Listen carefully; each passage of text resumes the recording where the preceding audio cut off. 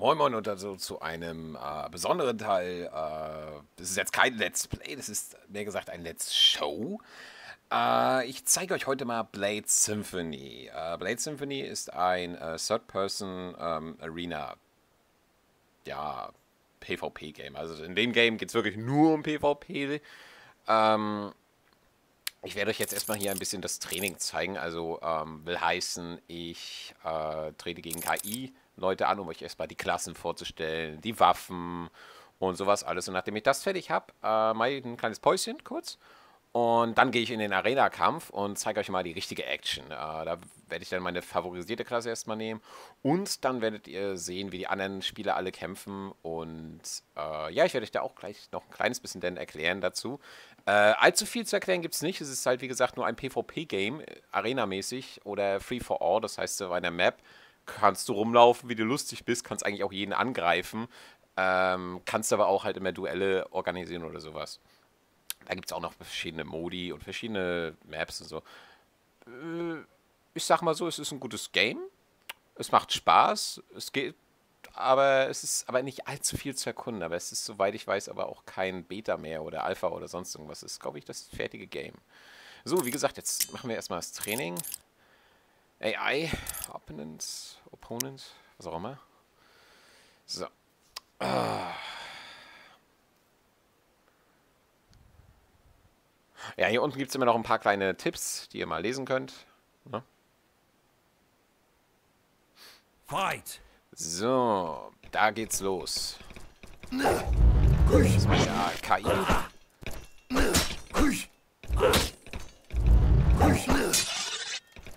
schon, das ist... Das ist jetzt natürlich nicht so anspruchsvoll, weil es ja auch nur KI. Äh, den Schwung, den ihr da seht, diese Kreise, diese Vierecke, das sind der, ähm, halt der normale Angriff, den du machen wirst. Jetzt sehe ich mal so. So, so sieht das denn aus. Und äh, jeder, und dann seht ihr hier unten, ganz links, seht ihr Fast, Balance und Heavy. Das sind die Angriffstaktiken, die man haben kann. Äh, das ist jetzt mal fast. Das heißt, äh, halt schöne, schnelle Angriffe, machen aber nicht so viel Schaden. Ja, ich weiß. Ist ja auch nur KI, ne? So. Fight. Ähm, ja, dann gibt es Balanced. Der Unterschied ist hier, dass man ein wenig langsamer ist, aber halt auch mehr Schaden macht.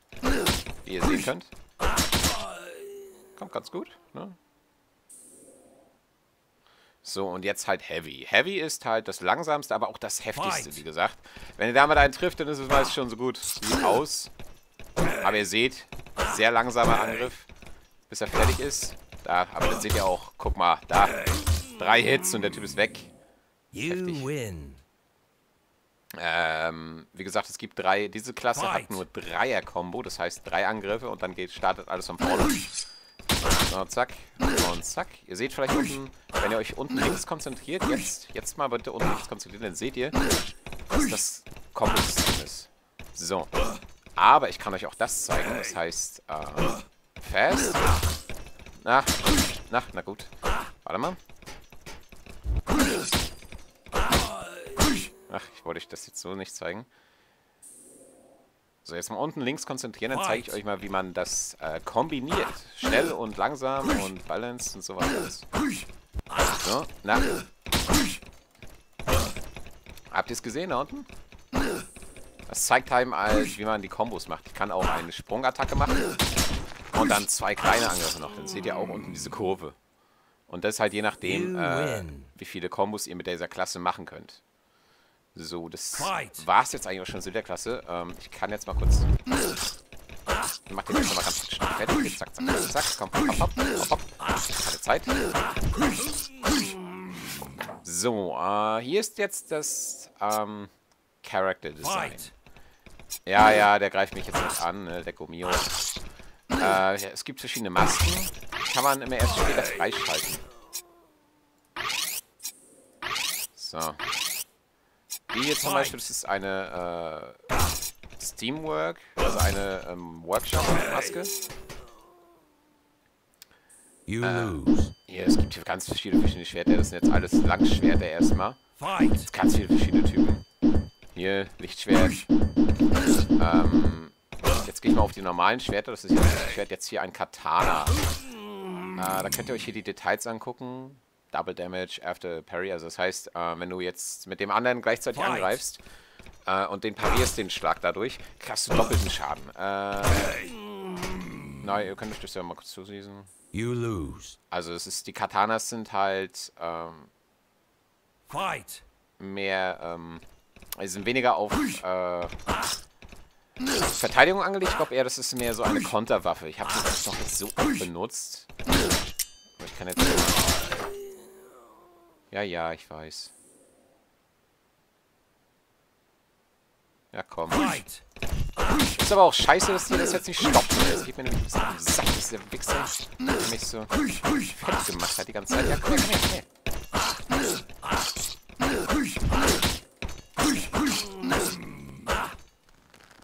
Sackgesicht.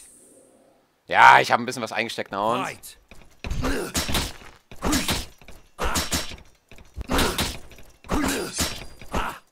Ah, komm. Zack, da hast du's. You win. Ich weiß. So.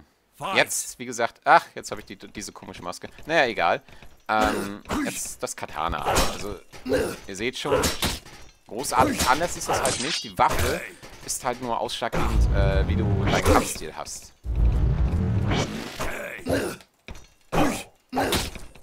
Also es ist äh, weniger, ähm, dass du andere Kombos machen kannst, es ist halt einfach nur, wie du den Kampfstil machst. Sag ich mal, das Katana gibt dir jetzt zum Beispiel bessere ähm, Links, äh, Angriffsstärke, weil du halt gut parieren kannst. Sag ich jetzt mal. Dann ist das halt äh, eine sehr gute Waffe. Aber ansonsten ist das ähm, Standard äh, Großschwert das ist die beste Waffe für Anfänger. Um das alles halt zu lernen, dann kann man ja äh, mal wieder die Waffen wechseln, gucken, was man so mag. So, jetzt gehen wir mal auf diese Klasse. Diese Klasse ist äh, na gut.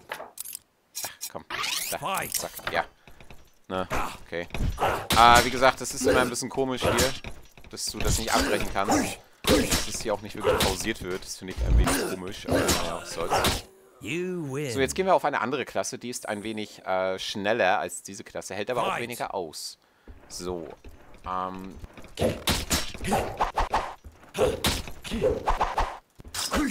also äh, diese Klasse ist halt ein wenig schneller und mehr auch auf Fechten ausgelegt, wie ihr ja sehen könnt. So, hier ist zum Beispiel eine, äh, was man jetzt anders sehen kann, eine Vierer-Kombo. Das ist nicht so ausbalanciert wie der erste Teil, äh, wie die erste Klasse.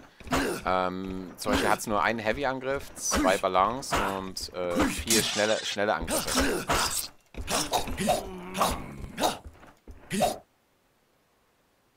Bei dieser Klasse äh, nehmen die meisten Leute auch Degen, zum Beispiel, weil die halt äh, sehr stark nach vorne ausgelegt ist, die Klasse. Und Degen machen nach vorne hin viel mehr ähm, Schaden als alle anderen Waffen. Deswegen ist das, äh, wird das so gesehen OP genannt, diese Klasse. Mit, ähm. Rapieren. Das kann ich jetzt, jetzt mal schnell machen. Hier, da. Nehmen wir das mal. Fight. Ah, noch geklappt. Jetzt haben wir auch ein mehr. Jetzt zeige ich euch das.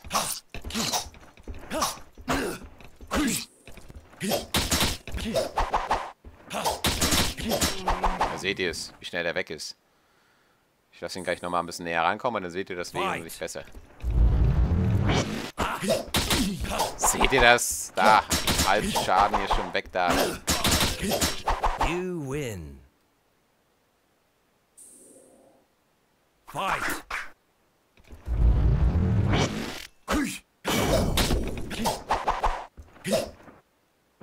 Naja, der Typ wartet jetzt, dass wir da hinkommen. Seht ihr, das ist klar gewesen. Dass er da wartet, bis wir da hinkommen.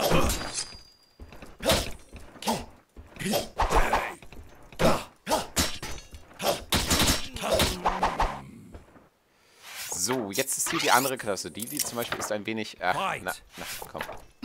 Äh, die ist ein bisschen mehr sprungvariantiert. Die ist sehr schnell. Ja, komm. Ach komm. Leck mich doch. Ja, ja, komm, mach schneller hier. Ich will den Typ aufs Maul geben. Ich hasse KI, echt. dass man das nicht stoppen kann. Das geht mir so ein kleines bisschen um den Keks. Das ist dann immer halt dieses blöde Gelaber von dir, weil du halt drauf gehst. Der dich halt niedermetzelt. So, diese Klasse ist extrem schnell ausbalanciert. Ihr seht es da, guckt mal ganz unten rechts. Der hatte einen Sechster schneller kommen. Aber mit der Klasse komme ich auch, muss ich persönlich sagen, so gesehen gar nicht zurecht. Die ist mir einfach ein bisschen zu schnell, da verliere ich ganz schnell mal die Orientierung.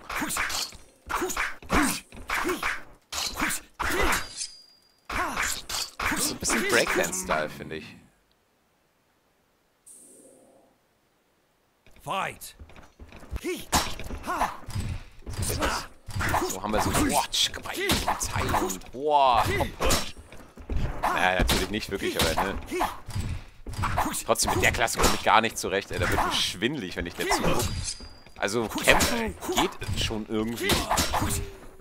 Kommt drauf an, wer die Klasse steuert, sag ich mal. Aber ansonsten, um Gottes Willen, bitte nicht. Ich komme mit der Klasse echt einfach nicht klar. Ihr seht schon, ich muss die Hammer eine. Ich, das, das seht ihr. Also ich komme mit der Klasse so gesehen. Mit dieser Klasse komme ich absolut nicht klar. Ich weiß nicht, mit der kann ich einfach nicht umgehen. Das ist mir ein bisschen zu schnell, vielleicht bin ich auch viel zu blöd. Kann auch sein.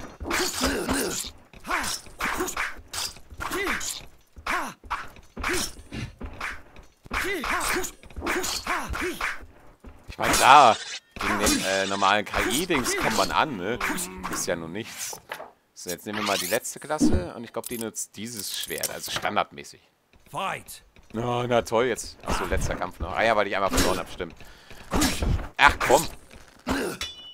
Doch nicht E. Oh, jetzt komme ich hier schon mit den Tasten durcheinander. Drücke E, obwohl ich äh, drücken wollte. Oh Gott.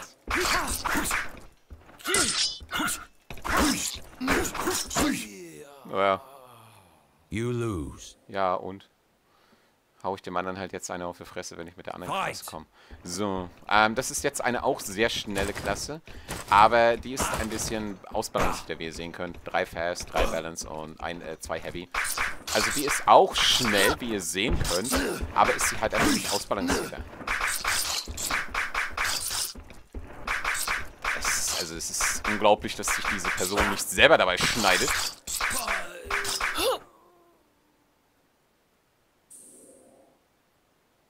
Fight.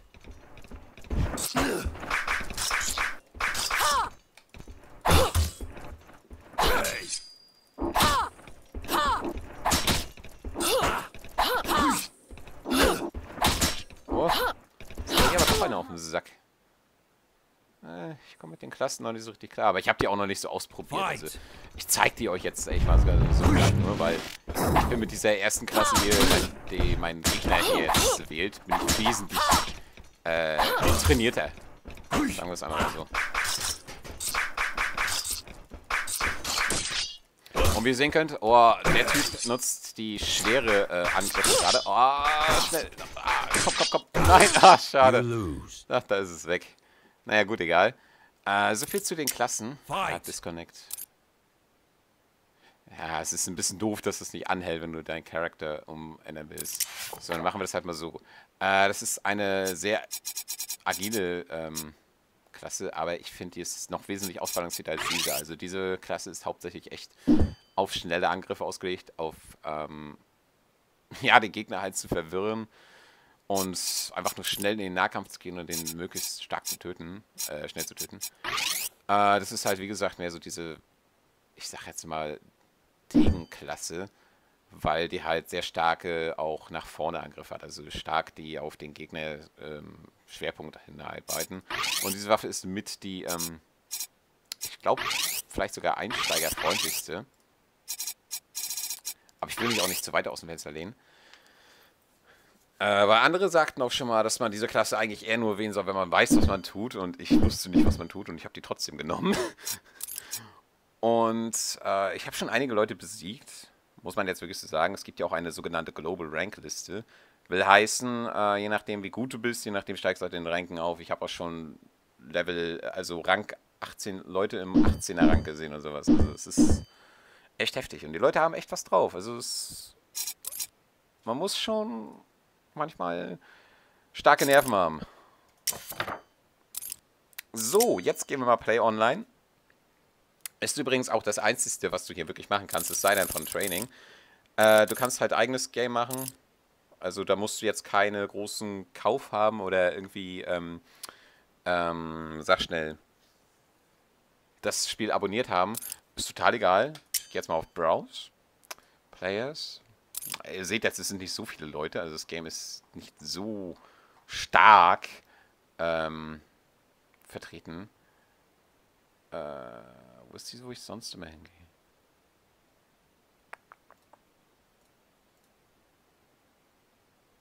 Ja, gehen wir mal auf Dualbox hier. 8 von 11 Leuten. Ist egal. Äh, Connect. So, das ist jetzt, wie gesagt, die sogenannte Dualbox. Es gibt drei Arenen. Und da treten halt immer die Leute halt an. Oh, da haben wir es schon. Round two. So, den Leuten gucken wir jetzt mal ganz kurz zu. Das sind jetzt zwei andere Leute. Keine Ahnung, welchen Rang die haben oder so. Das sind ja die Namen. Bitte schon mal.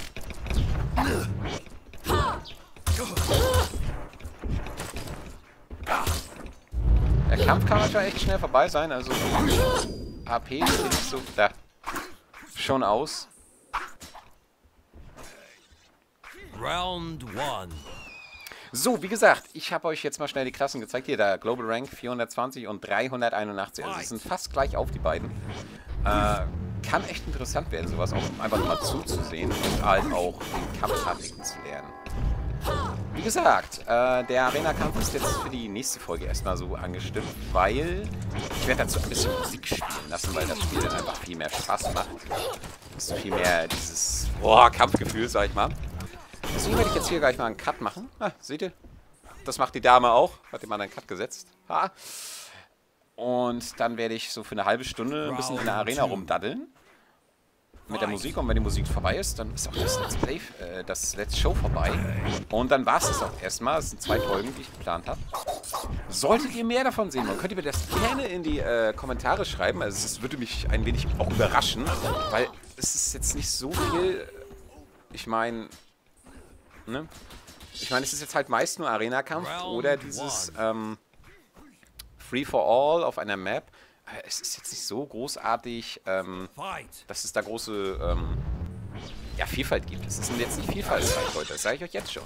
Es ist hauptsächlich wirklich das Spieler gegen Spieler Kampfgefühl, was du hier hast. Es ist auch gut. Die Kämpfe sind äh, echt spannend. Manchmal auch kommt drauf an, welchen Gegner du hast. Und wie du persönlich auch reagierst. Ne? Wenn du zu blöd bist, sag ich mal, so was mir öfter auch mal vorkommt, dann ist der Kampf mal schnell vorbei. Und dann gehst du auch mal ein bisschen, bisschen hinaus. Das seht ihr. Ein Angriff. Ein Angriff und der Typ ist fast weg. So schnell geht das. Da hat er gleich wieder aufgeholt. Das geht manchmal so schnell. Guckt, glaubt man gar nicht. Das ist halt die unterschiedliche ähm, Balance zwischen den Angriffstaktiken. Also zwischen sch- äh, fast, balanced und heavy. Kommt echt drauf an. So, wie gesagt, ich setze jetzt hier mal einen kleinen Cut und dann geht's in der nächsten Folge los mit ein wenig Arena-Action. Bis gleich. Tschüss.